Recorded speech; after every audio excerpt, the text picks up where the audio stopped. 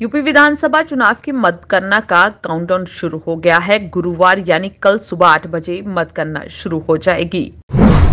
UP में केंद्रीय बल के पहरे में होगी मतगणना। रिज़ल्ट आने के बाद विजय जुलूस निकालने पर रहेगा प्रतिबंध।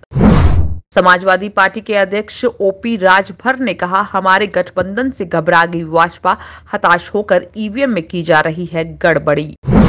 यूपी में ईवीएम पर सियासी घमासान मिर्जापुर में सपा कार्यकर्ताओं ने काटा गदर, कहा, स्ट्रांग रूम से आ रही है बीप की आवाज़. ईवीएम से छेड़छाड़ की आशंका के बीच सपा प्रत्याशी ने की तहसीलदार से शिकायत, कहा, अनावश्यक आवाजाही रोकी जाए। उत्तर प्रदेश विधानसभा चुनाव की मतगणना से पहले एग्जिट पोल आने से ज़्यादातर ये साफ़ हुआ कि भाजपा की सरकार बनने का है अनुमान।